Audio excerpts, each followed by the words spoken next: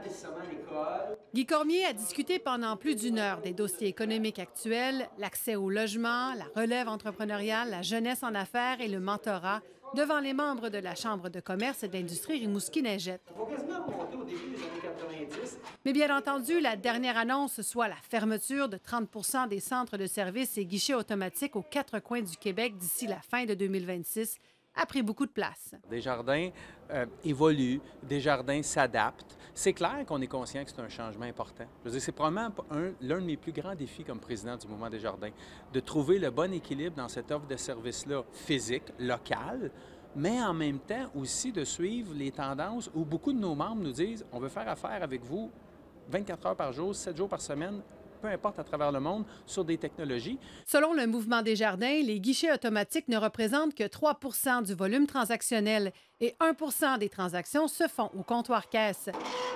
Au Bas-Saint-Laurent, les guichets automatiques et les points de service ont fondu dans les dernières années.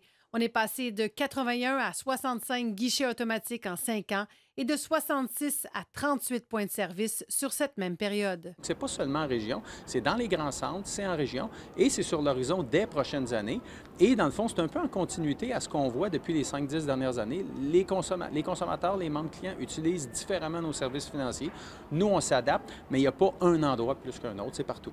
Par ailleurs, le numéro un de Desjardins affirme que les prochains mois seront difficiles économiquement, mais Guy Cormier entrevoit aussi une baisse des taux d'intérêt après cette période. Dans les 5 à 6 prochains mois, on va définitivement avoir un ralentissement économique important. Maintenant, la bonne nouvelle, c'est que dès le deuxième semestre de 2024, on voit au Québec, au Canada, dans le Bas-Saint-Laurent, ben, des baisses de taux d'intérêt potentielles arriver, ce qui devrait permettre peut-être une relance de l'économie plus rapide. Donc, on a un premier semestre qui va être difficile au Québec, dans le Bas-Saint-Laurent, au Canada, mais un deuxième semestre qui pourrait déjà avoir une reprise, voire même des baisses de taux d'intérêt. Katia Laflamme, TVA Nouvelle, Rimouski.